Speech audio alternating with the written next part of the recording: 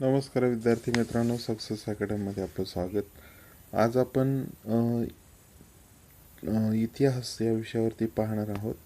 त्यामध्ये आपले क्रमशः व्हिडिओ चालू आहेत.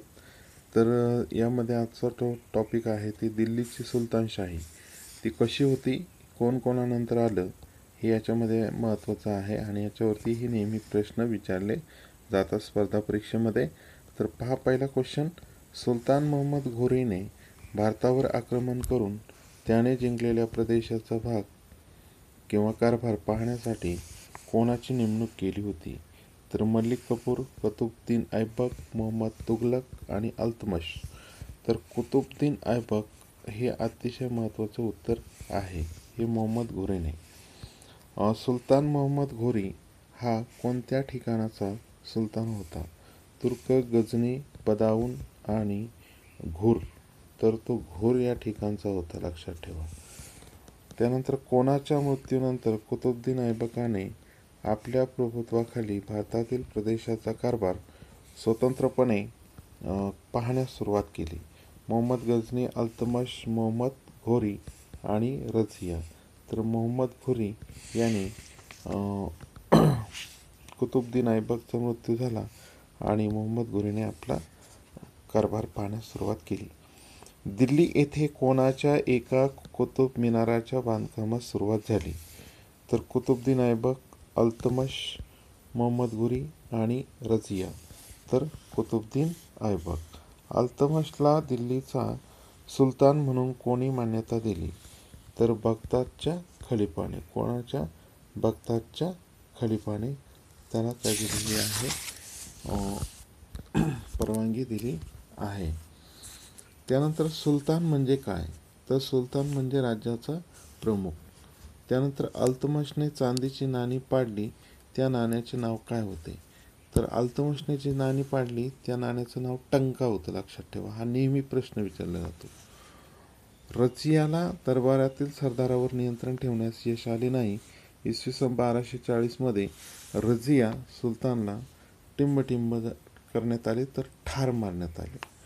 टिंबटिंबमध्ये अल्लाउद्दीन खलजी दिल्लीचा सुलतान झाला होता इसवी सन बाराशे शहाण्णवमध्ये.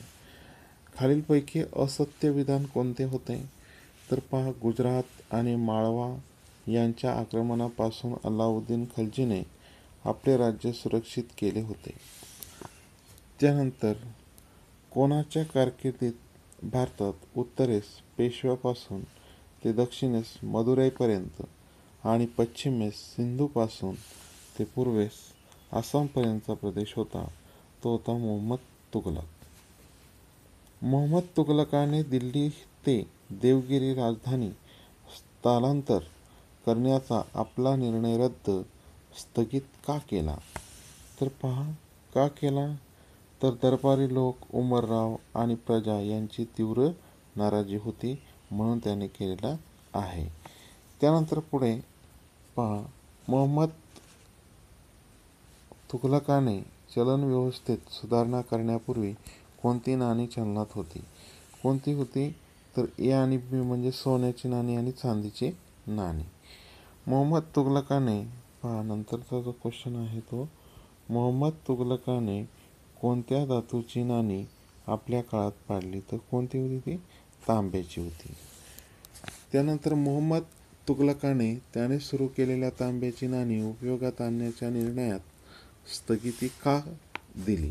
तर तांब्याची नाणी पाडण्यावर सरकारचे नियंत्रण नव्हते म्हणून. मोहम्मद तुघलकाने खालीलपैकी कोणता विभाग सुरू केला होता? कोणता? तर कृषी विभाग. मोहम्मद तुघलकाने शेतकऱ्यांना दिलेली कर्जे कोणी माफ केली होती? तर ती फिरोज तुघलक याने ती माफ केली होती. सतलज व नद यमुना नद्यावर कालवे काढून अधिक जमीन लागवडीखाली कोणाच्या काळात आली होती? तर फिरोज तुघलक यांच्या.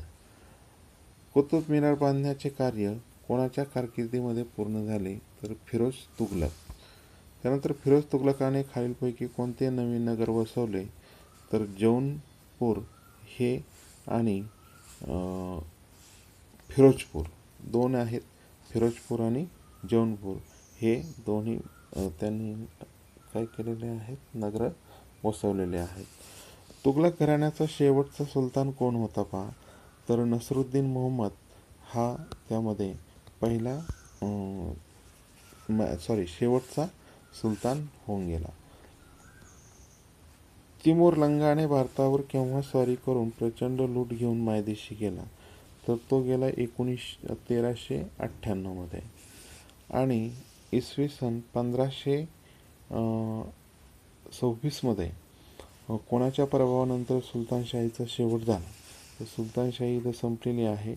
तर इब्राहिम लोदी याचा पराभव झाला आणि सुलतानशाही संपली. अशा पद्धतीनं ही दिल्लीची सुलतानशाहीवरती आपण हा व्हिडिओ बनवलेला आहे.